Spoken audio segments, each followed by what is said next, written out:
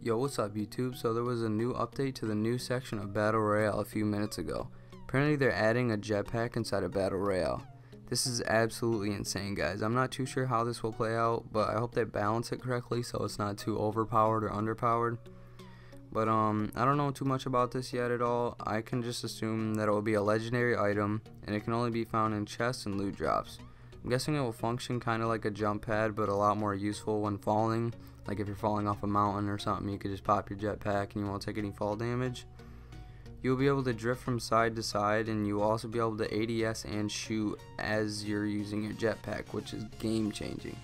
This means you're going to be functioning like you have a glider, but you'll also be able to aim down your sights and shoot at the same time. Uh, it comes with 100 fuel, and every initial double jump takes 10 fuel, and every second airborne takes 1 fuel. This, in my opinion, is a great idea, and I cannot wait for this. Let me know what you guys think about this, but other than that, peace out, guys.